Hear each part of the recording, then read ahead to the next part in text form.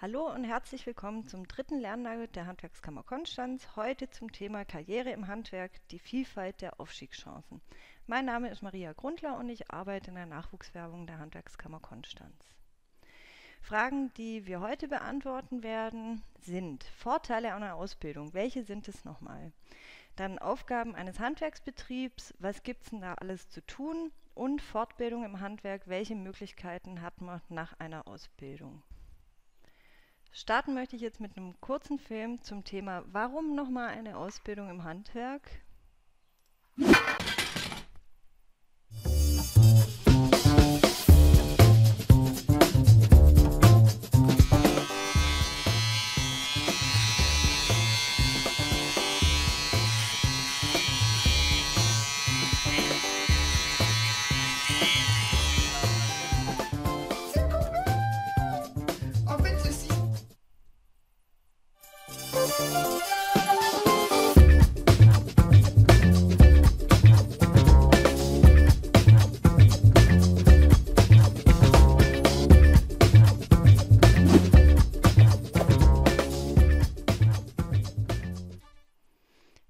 Sicher, dass einige von euch das Video schon kennen, aber ich finde den Film einfach witzig und er zeigt, dass die vermeintlich oder scheinbar einfachsten Dinge eben doch auch gelernt sein wollen. Also warum nochmal eine Ausbildung im Handwerk? Zum einen lernt ihr da wirklich praxisnah, direkt am Kunden, direkt mit Werkstücken ähm, euer Know-how. Ihr lernt von Profis, mit denen ihr euch austauschen könnt. Ihr könnt eigene Ideen entwickeln und die auch schnell umsetzen. Ihr könnt eigene Lösungswege finden und die auch einbringen, weil gerade im Handwerk auch kleinere Teams oft zusammenarbeiten und ihr euch direkt mit denen über Projekte austauschen könnt.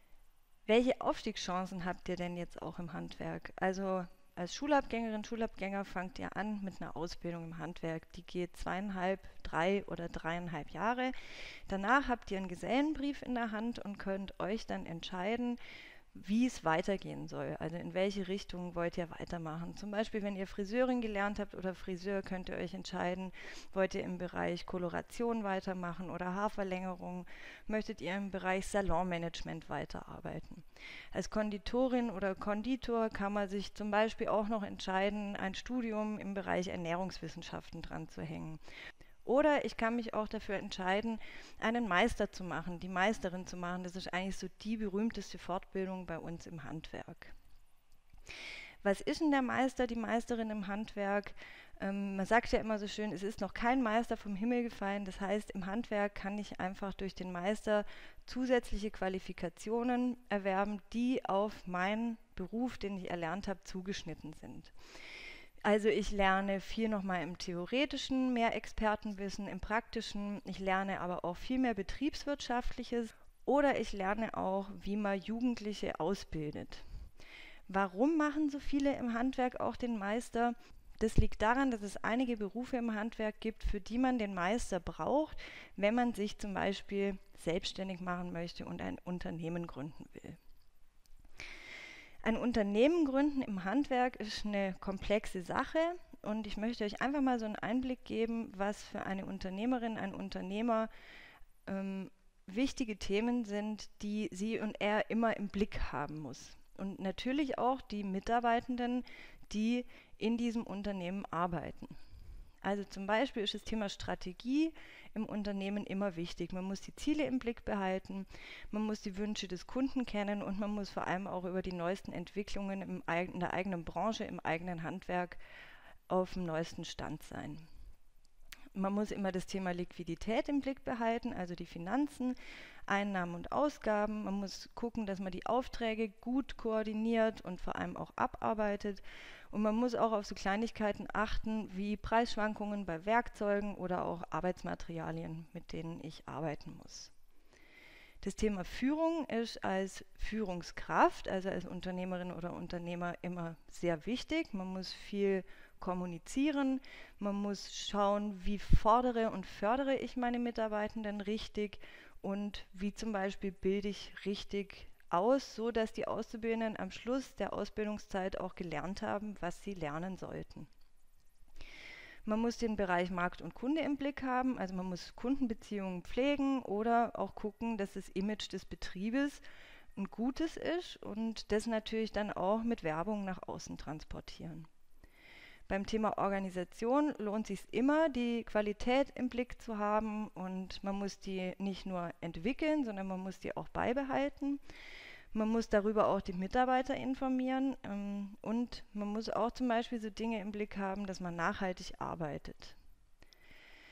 Der Bereich Personal ist auch ein sehr wichtiger für Selbstständige im Handwerk. Also zum Beispiel, wie mache ich meine Mitarbeiterentwicklung? Wo wollen meine Mitarbeiter hin? Welche Mitarbeiter brauche ich in den nächsten Jahren, um mein Unternehmen auch weiter erfolgreich zu halten?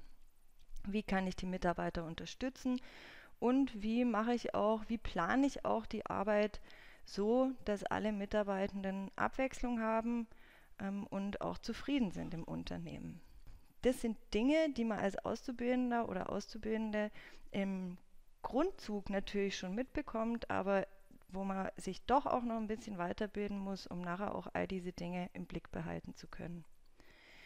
Jetzt ist natürlich die Frage, wie finanziert ihr euch Weiterbildungen nach der Ausbildung? Da gibt es einige Möglichkeiten. Wenn ihr zum Beispiel sehr gute Noten habt, könnt ihr bei praktischen Leistungswettbewerben teilnehmen und euch dann für ein Stipendium bewerben.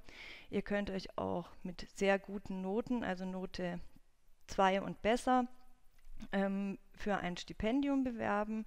Und wenn ihr dieses Stipendium erhaltet, bekommt ihr Förderungen von bis zu 7.200 Euro in drei Jahren. Das heißt, ihr könnt Fortbildungen machen ähm, in diesen drei Jahren, die über dieses Weiterbildungsstipendium dann finanziert werden und ihr müsst nur 10% Eigenanteil an den Fortbildungen tragen. Seit 2020 gibt es auch die sogenannte Meisterprämie. Das heißt, jeder und jede, die einen Meistertitel erfolgreich erwirbt, bekommt 1500 Euro als Prämie obendrauf. Und es gibt auch immer die Möglichkeiten, über Fortbildungsförderungen eine Fortbildung auch zu finanzieren. Hier nochmal ein paar Links zu Informationen zu Aufstiegsmöglichkeiten im Handwerk. Unser YouTube-Kanal hält einige Videos bereit von Selbstständigen im Handwerk oder auch jungen Leuten, die eine Ausbildung machen oder auch jungen Leuten, die eine Fortbildung machen. Wir haben regionale Infos zum Thema Fortbildung auf unserer Handwerkskammerseite eingestellt. Zum Thema Weiterbildungsstipendium findet ihr dort auch was. Wir haben ähm, einige Seminare und Fortbildungsgänge, wo ihr euch mal umschauen könnt auf der Seite der Bildungsakademie. Und falls ihr euch wirklich schon für das Thema Selbstständigkeit mehr interessiert, ist hier auch noch ein Link zum Thema Selbstständigkeit im Handwerk. Ich möchte mich jetzt herzlich bedanken für eure Aufmerksamkeit. Ich hoffe, ihr habt wieder die ein oder andere Anregung mitgenommen und möchte euch jetzt bitten, das Arbeitsblatt 3 oben auf Karriere im Handwerk zu bearbeiten. Vielen Dank und bis bald.